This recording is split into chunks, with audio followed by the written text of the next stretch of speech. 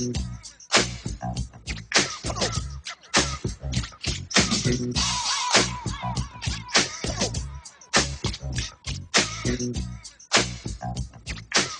here with heavyweight sensation, top contender, knockout artist, the new Earnie Shavers, Amir Hardcore Mansour, who won Knockout of the Year, his sensational knockout of Big Fred Kassi, and you also got another Briscoe Award for being in the Philly Fight of the Year. Yeah, yeah. What does the Briscoe Award mean to you, Amir? Um, it means a lot. I remember when I first turned pro and I came to one of these uh, award shows and Bernard Hopkins was receiving the award. Right, Fight of the Year. You know, and um, so to years later, you know, receive a couple awards myself. Mm-hmm. Obviously, you know, mm-hmm. it means a lot, man. It means a mm-hmm. lot.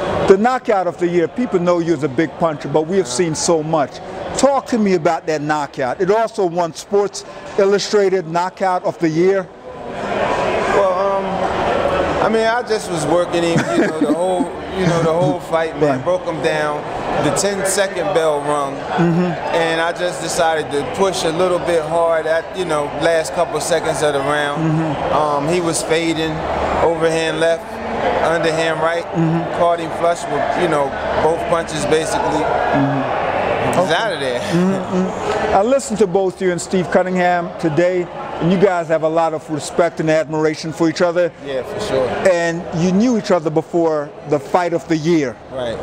How were you guys able to separate that and put on such a great performance?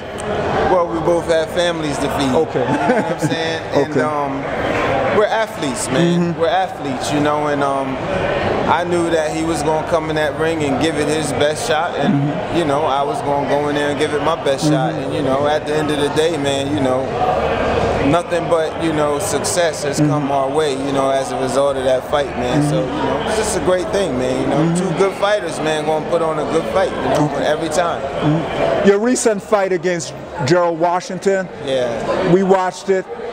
We all thought you won mm-hmm. unanimously.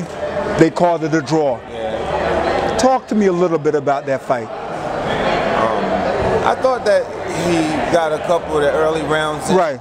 And, um, you know, I learned a lot when I fought Steve. Right. So I, le- I learn I'm learning how to be patient now mm-hmm. in that ring mm-hmm. and, and, and, and be thoughtful in the mm-hmm. ring and that's what I was doing, man. Being patient, not getting, you know, out of my, you know, mindset, losing my composure. And um, after about the fourth round, man, I felt like I took control of the you fight. You wore him down with body shots. Took charge of the fight. Mm-hmm. He was running so much. and, and because of his height, it was mm-hmm. almost impossible, you know, to hit him in the head at times. So I just said, I'm just going to rip his body apart because that was the closest thing to me. But um, I mean, man, it, it's sad when you get a decision like that because I worked very hard right. preparing mm-hmm. for that fight. You know, and, and, and, I got a family, you know right. what I mean, mm-hmm. to feed. I got a mm-hmm. career that, mm-hmm. you know, I'm holding on to, you know. Mm-hmm. And, and, and so for it to be taken away from you, a win, mm-hmm. out of just pure unfairness, man, right. it, it's really ridiculous. Um, the lady, Miss Byrd, you know, I don't think that she had any ill intent mm-hmm. in her way of scoring the right. But I also think that she should rethink mm-hmm. her job and, and, and, and, be evaluated, you know, and, and, and, and really, you know, step aside, you know, from mm-hmm. doing this because she's consistent in judging this way. Mm-hmm. It's, it's not like this is her first time right. being so far off from the other two judges that she sits down with. And you know, she has to realize that these this is our lives, man. Right. This is our careers.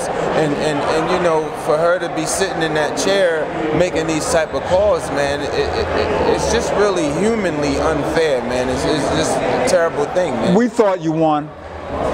Ringside commentators had you winning the fight. Yeah. It's unfortunate. Yeah. But I don't see it as a setback because the entire nation saw it. Yeah.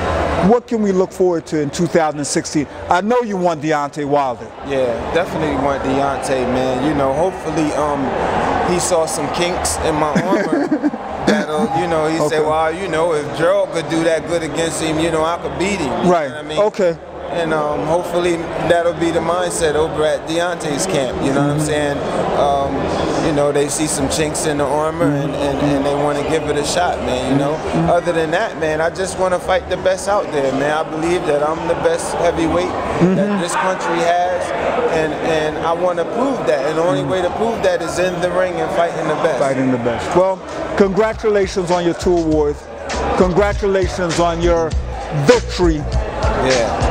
On television. Even though you didn't get the decision, you won the fight, and we're looking forward to some big things in 2016. For sure, man. For sure. Congratulations. All right, man. Thank y'all, man.